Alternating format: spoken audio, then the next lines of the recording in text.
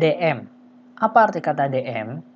DM merupakan singkatan dari kata bahasa Inggris direct message, yang artinya pesan langsung. Kata ini menggambarkan aktivitas seseorang yang secara langsung mengirim pesan tanpa perantara. Biasanya terjadi di sosial media seperti Instagram, Twitter, atau Facebook. Contoh kalimat untuk kata DM, Bro, nanti tempat konsernya di DM aja ya, biar gua post di Instagram. DM. Apa arti kata DM? DM merupakan singkatan dari kata bahasa Inggris direct message, yang artinya pesan langsung.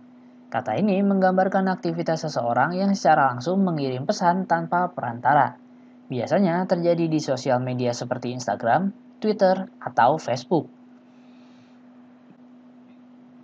Contoh kalimat untuk kata DM, Bro, nanti tempat konsernya di DM aja ya, biar gua post di Instagram.